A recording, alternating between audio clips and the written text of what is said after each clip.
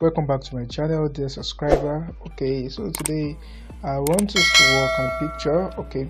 Uh, this is the picture we want to work on. All right so i'll just click on this share icon upward there okay?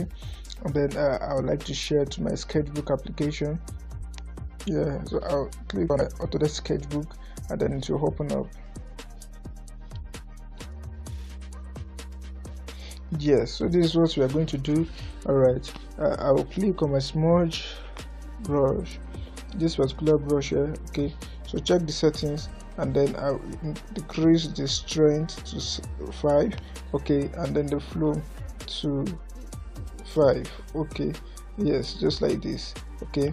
So check it now. Can you see that good so the first thing i want you to do is to duplicate this picture and then you have the one below. All right and then zoom in the picture and then let's smudge it and make it neat.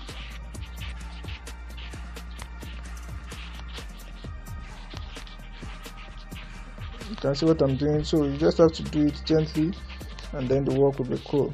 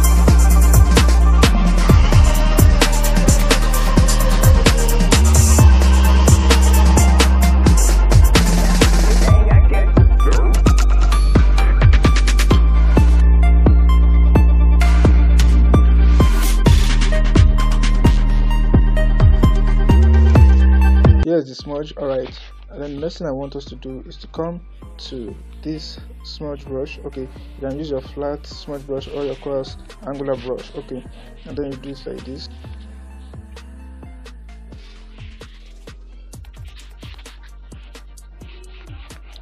Do you understand me now? So you just you take it gently like this. And then till you finish doing it. Then after that you're going to duplicate this picture and then you put it on screen okay? On screen and then you can reduce it a little. Do you see this?